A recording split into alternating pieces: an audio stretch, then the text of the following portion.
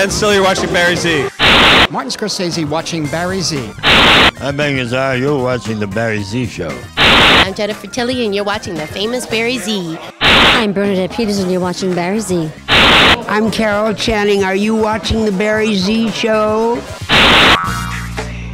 Joe Iconis says that you're watching the Barry Z Show, which rocks. David Rigler of the New York Theater Barn, you're watching the Barry Z Show. Katie Thompson, you're watching the Barry Z Show. No, Barros, you're watching the Barry Z Show. Hi, it's Barry Z from the Barry Z Show, celebrating the New York Theater Barn, right? With a fantastic benefit tonight, right? That's right. Oh, good shite. Tell me what happened, David. Talk to us. Give us the picture, yes? What happened is we had uh, two great sets by two amazing composers, uh, Brian Feinstein and, and Joe Iconis, uh, who just are, are people that we're going to continue on with and make really great work and make a make great theater history. Great! And we'll be right back to give you a glimpse of all this right after these messages. Don't go anywhere, right? Yeah, that's right. Hi, it's Barry Z from the Barry Z Show, live from Times Square, talking to James Hedstrom, has a great celebrity gossip site called TimesSquareGossip.com, right? Come on, you guys, right after you're done with the Z, TimesSquareGossip.com. Do it now, do it right after the show. So come to the TimesSquareGossip.com.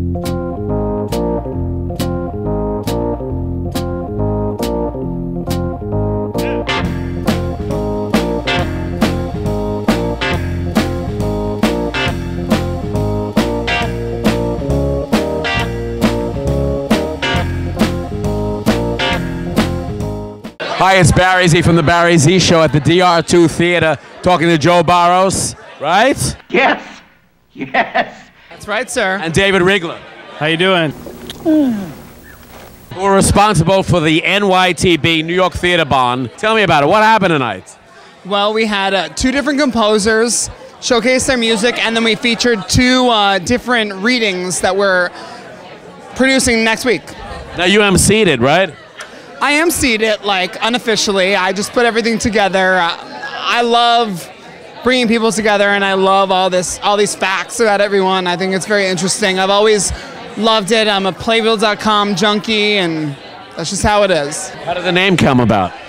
Uh, the name came about because of our relationship, you know, meeting at uh, Summer Stock Theater and and I mean actually I've worked at three other barn theaters and what I've what I've come Real bonds with cows and horses. Now, stop gabbing and get me some oats. real barns. I mean literally people, you know, take a barn. take uh, The theater is a barn, an old barn. I mean, a lot, a lot of these summer stock theaters, they just take a barn and they cut it in half and put a stage on one side and seats in the other. And I'm sure everyone in the theater uh, industry has, has passed through one or several, and um, I, I have passed through four of them. You know, and I've and it's so weird that uh, even today, and seeing other resumes and meeting people.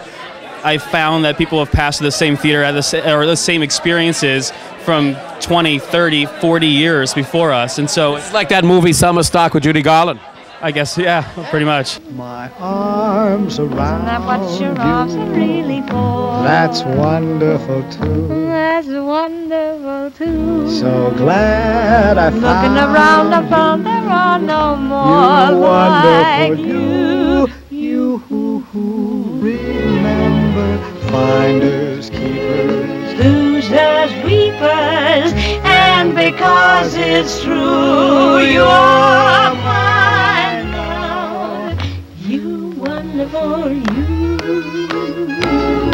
So what are you doing? Recreating the old theater barn from the old days and bringing it here to New York?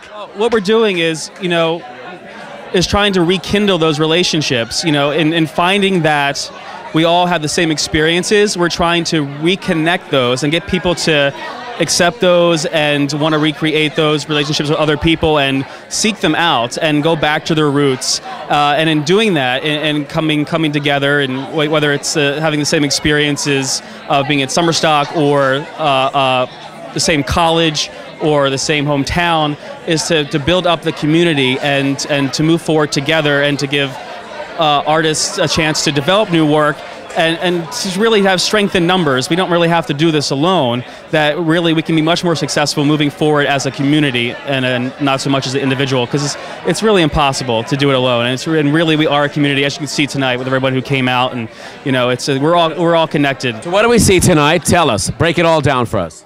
Um, basically, we saw the first set was Brian Feinstein, who of course composed Mimi Le Duck, the off-Broadway show. Mimi Le Duck with Eartha Kitt. Yes. Annie Golden. Annie Golden, which I was actually the associate set designer on. Oh my God! It's Joe Iconis. Yeah.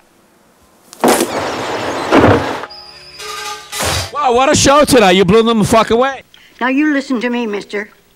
God did not put me on this earth to be awakened by filthy suggestions from a foul-mouthed hooligan like you. Uh, and it was good. Yeah, it was a good show. I was very, very happy. A lot of people turned out. A lot of people I didn't know, which is nice. Are you the new Stephen Sondheim, Kander and Ebb, and Jonathan Larson? I don't know. I have no. I have no idea. I'm just trying to. I'm just trying to sort of do something that I think is is different from what other people are doing. I mean, I always just say that I I just rip off from from from people that the rest of musical theater writers don't rip off from. Tell me about the songs. Um, okay, so the songs. Uh, well, from the Black Suits. A, a, yeah, only a couple, like only like two or three are from the Black Suits. Most of them were just songs that songs that I wrote, um, just kind of random uh, random standalone songs. Going to Broadway, the Black Suits. It's going, it's going to off Broadway, and then then hopefully Broadway and the world. Yeah, it's going to off Broadway though, but it's like you know for real off Broadway, not bullshit, not bullshit off Broadway, for real off Broadway. For real? No shit. What songs were from the Black Suits? The from the Black Suits we had uh, ro- rock and roll band, blue hair. Joey's a punk rocker. My parents tell me I'm never gonna make it. Fuck you, mom. Teachers tell me I'll never, ever, ever go far. They say I'm dumb, I'm a bum, but I ain't worth shit. But that just proves to me that they don't even know me a bit. Cause if they did, they would see just how wrong, wrong, wrong they are. Scream and shout knock you out. I'm gonna conquer the world, get the girl. I'm gonna get some respect and finally connect when I take a stand with my rock and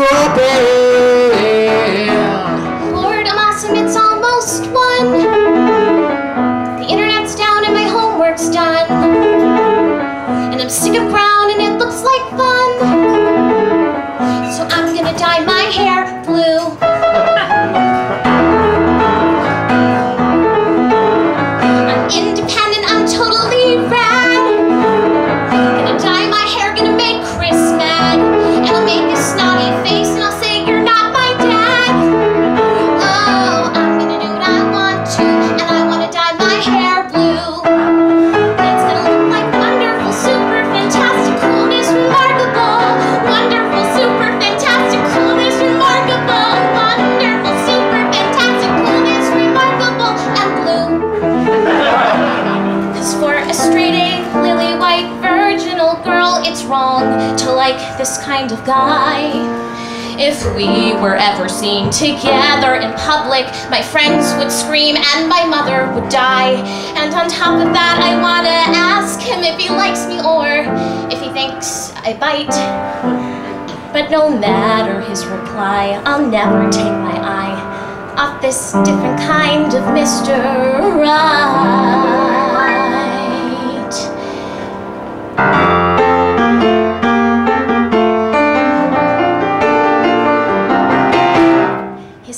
Is dirty. and he paints his nails black.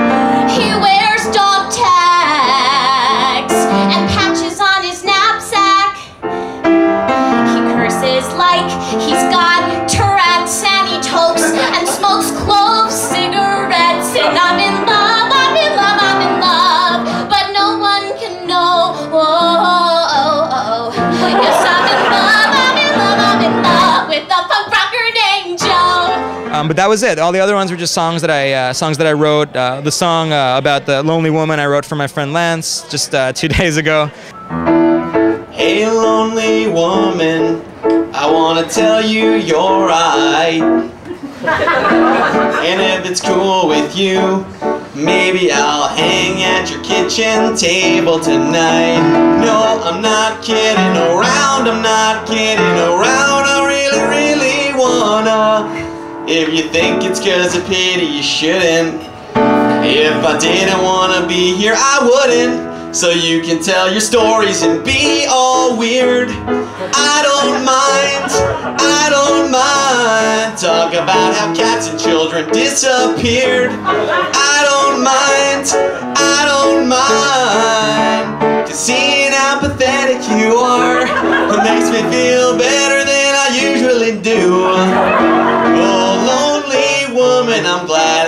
know you. You have a day job? Um, I, I not since the I, I won an award that, that gave me a, a What kind of awards did you win? He was talking about that. He won a hundred thousand dollars. I want that money! Yeah, that was really about hundred thousand. That yeah. Um, no, no, you cannot. But it's uh, it's it's it's yeah. It was it was an amazing gift. It is a gift. And it's uh, Whoa, from God? Uh, no, it's from Ed Ed Kleban, who's the, the dude who wrote uh, a chorus line. It's a it's it's an award in his name, and um, yeah, it sort of allowed me for the past month or so to just just write, and it's it's going to be. You got an award from Daryl Roth. I did, yeah. I got the Daryl Roth Award with uh, Robert Maddock. How can they uh, ring you up? You can ring me up by going to my website, which is uh, www.mrjoeiconis.com. Who's this lovely lady with the red hair? I'm Katie. Katie who? Katie Thompson. We met Katie because we saw a launch of a new theater company uh, a few months ago that our friend started. Ate. Ate. And Katie was performing. We were so blown away. We had to know her, and we produced two of her cabarets. Um, she was part of our launch, and her new cabaret, Red, which is actually practically a musical. We should talk about that because About Rita Hayworth? No, it's about redheads taking over the world. she has a website as well. It's my name, katiethompson.com. But I have two CDs on iTunes, but I won't fuck you for them. Why the fuck not? Huh. How can I get them then? You have to buy them $10 a piece, honey.